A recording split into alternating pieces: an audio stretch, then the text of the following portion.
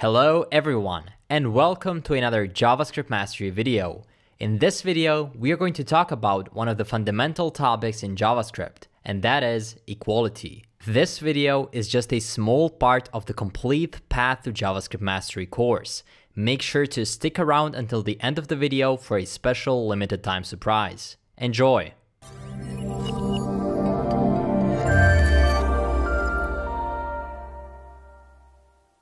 In this video, we are going to talk about concepts of strict versus loose equality in JavaScript.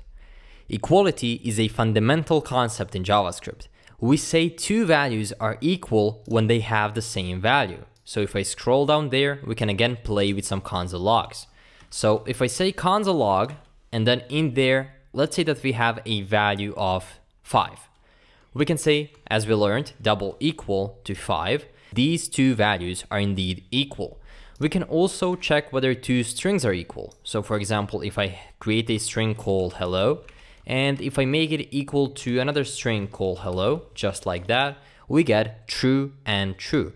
We can also switch these to strict equality with triple equal signs, and we do get true, true one more time. Note that we use three equal signs to represent this concept of equality in JavaScript.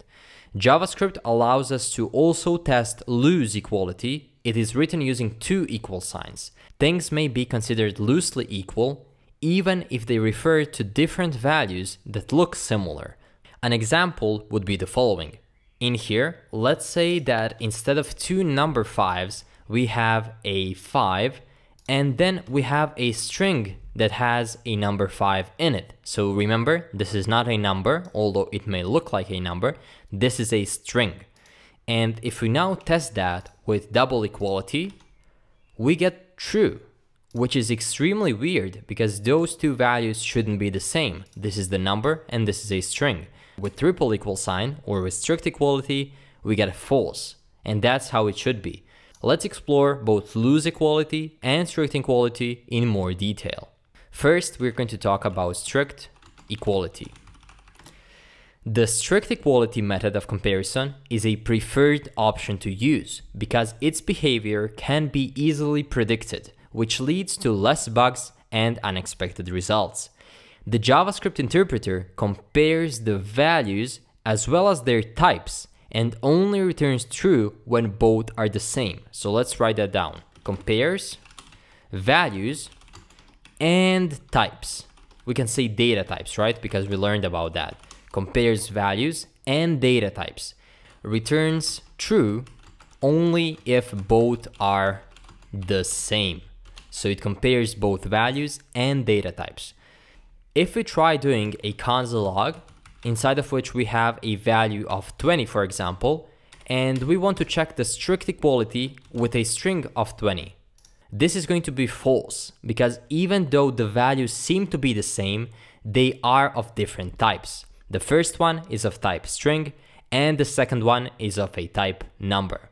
We write loose equality using double equal sign. So again, if we take the example from the strict equality, console.log and then we do 20 is going to be equal to double equal sign because loose equality. To the string of 20 we are going to get true.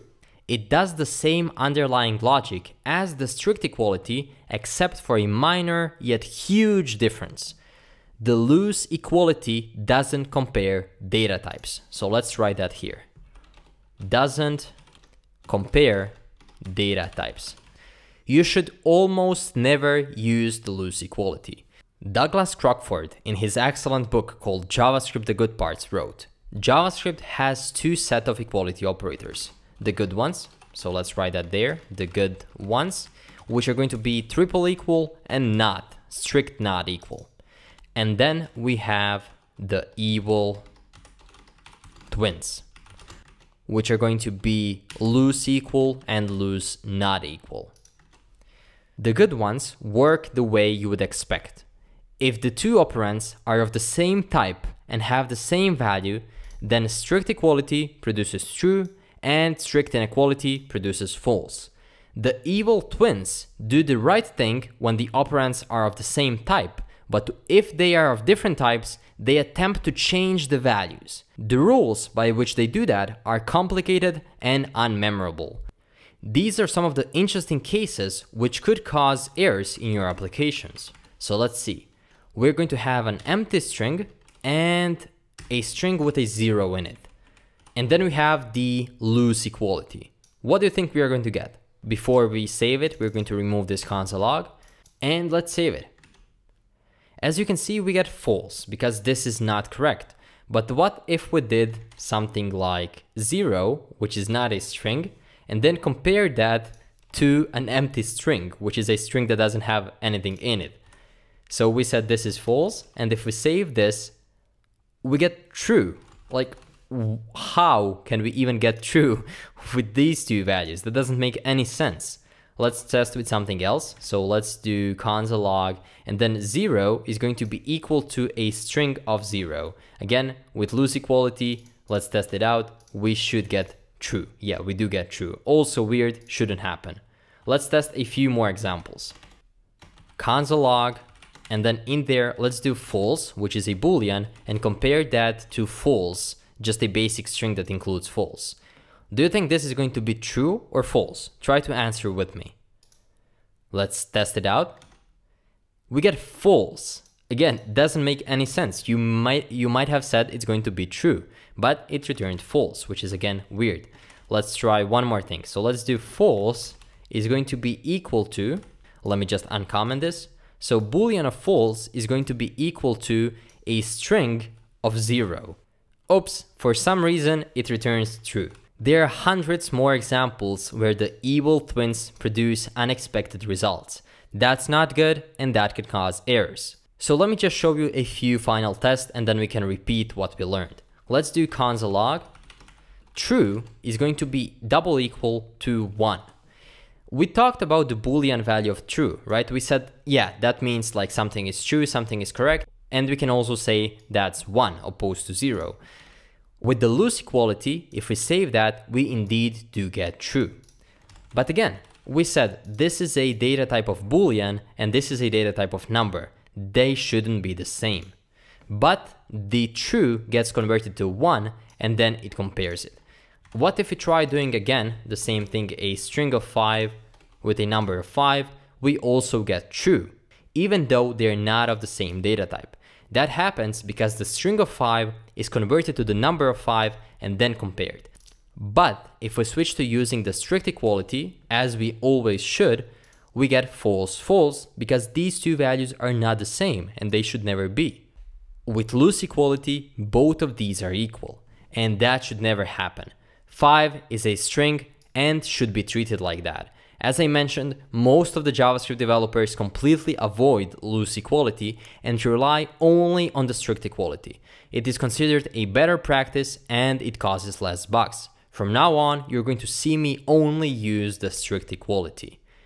And for the end, I found for you a great visual representation of strict versus loose equality. In here, we have a table. And in the table, you can see on the top row, we have some values, true, false, 1, 0, minus 1, and so on. And we have them in the column as well. And in here, each dot tries to compare, with double equal currently, the value from the row to the value from the column. True when compared to true is going to be true, correct. That's with the double sign. As you can see, with loose equality, we get these green boxes all over the place. They are unpredictable. But if we switch to strict equality, right there at the top, we get this nice predictable line. So, what's the moral of the story? Right there at the bottom corner. Always use triple equal sign or strict equality. If you found this video useful and if you'd like to fully master JavaScript, I have some good news for you. For a limited time, as a thank you gift for coming to the end of this video, I prepared for you a special discount code you can use right now to get $50 off the complete path to JavaScript mastery. The code is JSM underscore YT underscore squad. If you decide to buy it, see you inside of the course. If not, don't worry, I'll still keep posting quality and free YouTube tutorials. See you in the next one.